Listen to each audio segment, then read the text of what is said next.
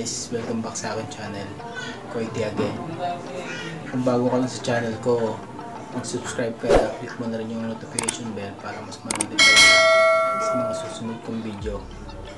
By the way guys, ito nga pala yung bago nating version ng PS40 setup natin no? bagong concept. Version ano version 3 ano siya? Yung contact switch back.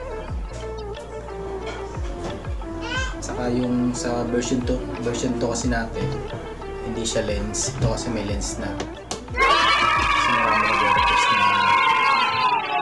Yung gusto nila may lens para hindi mahirap linisan. Para pupunas-punasan na lang. Para yung dun sa loob hindi madumihan. Bali ginamit ko palang igilay dito. So dalawa yung kulay. Yung may white tapos yellow. So, 23mm Wow! kasi ito yung ginamit natin dati sa mas maliit kaysa dito mas malaki to.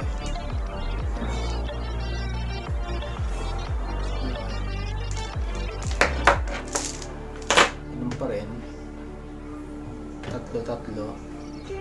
Rin dito.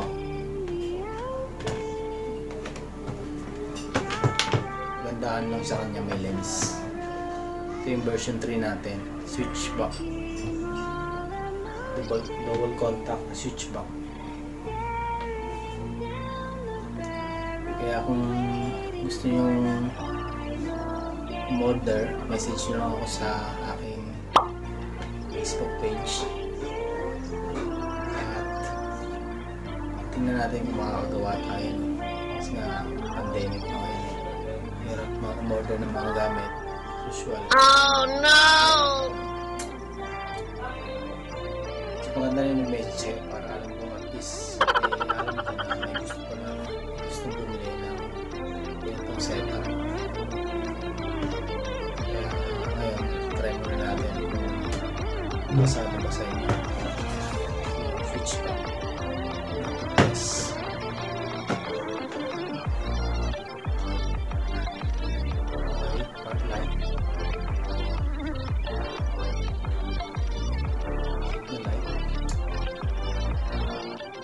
One.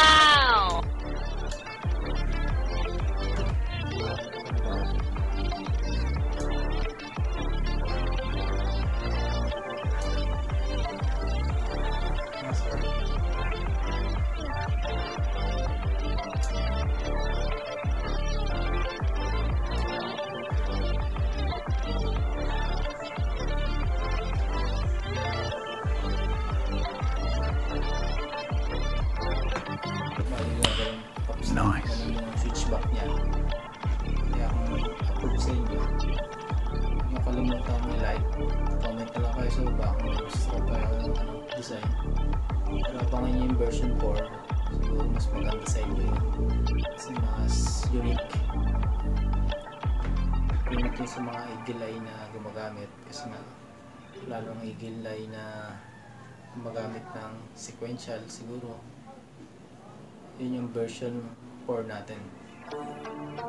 Kaya stay tuned. Sana parati kayo nakasubaybay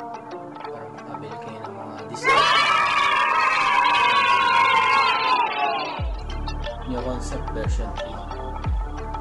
Okay, kaya kapitan natin sa labas para makita natin kung formado ba talaga siya. Okay?